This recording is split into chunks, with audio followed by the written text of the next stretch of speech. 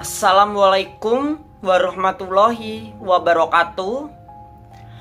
Para penonton video ini Kita kembali lagi di channel ini Di pembahasan ini di mana video kali ini akan membahas mengenai pencerahan seorang Ratu Adil yang memberikan penjelasan pemahaman kepada saya mengenai hantu pocong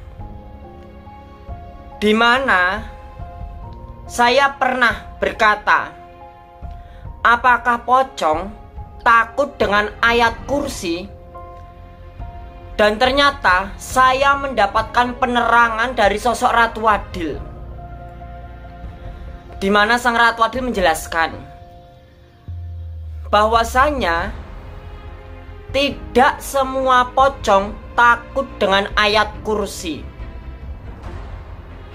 Hanya pocong-pocong kafirlah yang takut dengan ayat kursi. Karena apa? Karena pocong itu berbeda-beda Dan pocong dari awal penciptaannya Merupakan sifat manusia Jadi Ratu Adil itu membeberkan mengenai sosok pocong Bahwasanya pocong itu tercipta dari sifat manusia yang sudah mati di mana sifat itu membentuk suatu perwujudan yang dinamakan pocong. Dan pocong ini sendiri memiliki perwujudan menyerupai orang yang sudah mati. Dan sosok pocong ini sendiri menjadi sosok yang menakutkan dan momok bagi kalangan masyarakat Apalagi sosok pocong ini sangat erat hubungannya dengan alam manusia. Di mana banyak pula orang-orang di luar sana yang bertanya-tanya, apakah pocong takut dengan ayat-ayat suci Al-Quran? Apakah pocong takut dengan ayat kursi? Dan Ratu Adil sendiri menjawab, belum tentu. Tidak semua pocong takut dengan ayat-ayat suci. Dan hal ini pula dijelaskan di dalam Al-Quran Quran surat Az-Zariyah ayat yang ke-56 Yang bunyinya Dan tidaklah kami ciptakan jin dan manusia kecuali untuk beribadah kepada Allah.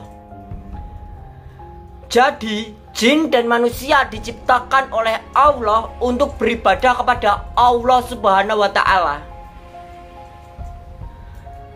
Di mana ada sebagian jin yang memang beribadah kepada Allah Subhanahu wa taala dan ada pula sebagian jin lainnya yang ingkar kepada Allah Subhanahu wa taala. Dan jin yang beribadah dan taat kepada Allah Subhanahu wa taala sering kali dan kerap kali dijuluki sebagai jin muslim, jin Islam. Karena apa? Dia mengisahkan Allah dia menyembah kepada Allah, dia taat pada Allah Subhanahu wa taala. Begitu pula hanya manusia, ada sebagian manusia yang memang ingkar kepada Allah dan tidak mau menyembah Allah.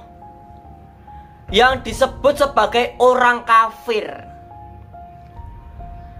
Ada pula sebagian orang, sebagian manusia yang memang dia menyembah hanya kepada Allah Subhanahu wa taala dan taat mengikuti perintah-perintah Allah.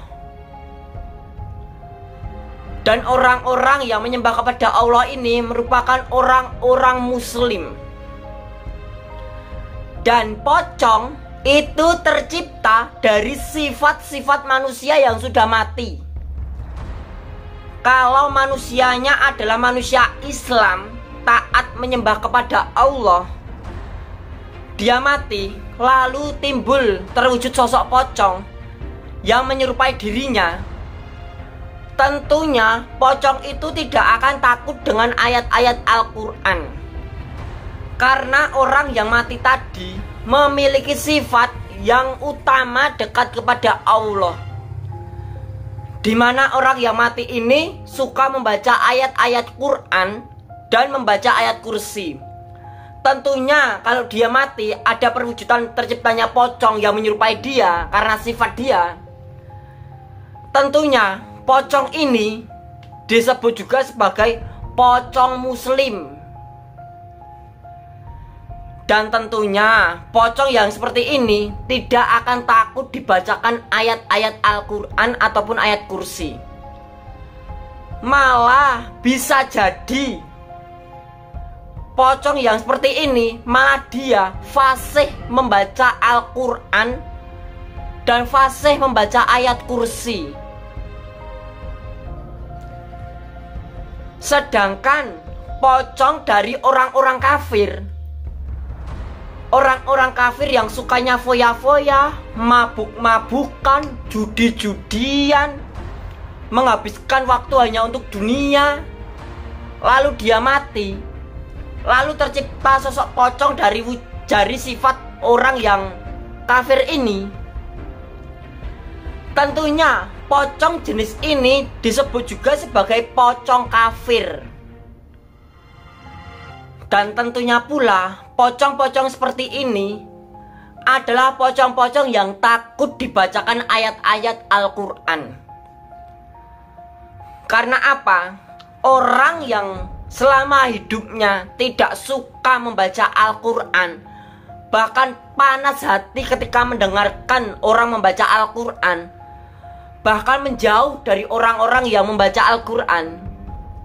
Tentunya kalau dia mati jadi dan sifatnya berubah menjadi pocong.